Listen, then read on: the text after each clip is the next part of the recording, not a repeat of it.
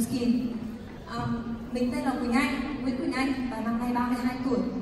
À, trước khi mà mình biết đến à, công việc kinh doanh Nuskin thì cũng như tất cả các bạn bè khác thôi mình cũng đi học các anh chị và mình uh, chọn một cái ngành được gọi là thiết kế đồ họa và mình uh, tốt nghiệp trường FPT và sau khi mà tốt nghiệp xong á, thì uh, thực sự là mình cảm thấy rằng là cái công việc đi làm thuê thì nó không giúp cho mình có thể uh, tự, tự chủ được với cái mặt thời gian bởi vì thời điểm đó thì Quỳnh Anh rất là thích đi chơi đấy chị ạ. Nên là lúc đó mình quyết định là mình sẽ khởi nghiệp. Là bởi vì là khởi nghiệp là một trong những mô hình mà giúp cho mình có thể à, tự chủ hơn về mặt thời gian cũng như là có thể à, giúp cho mình có được cái thu nhập như mình mong muốn. Thế thì cái khởi nghiệp đầu tiên khi mình anh bắt đầu thì đó là một công việc về tổ chức sự kiện. Mình có mở một doanh nghiệp riêng về tổ chức sự kiện.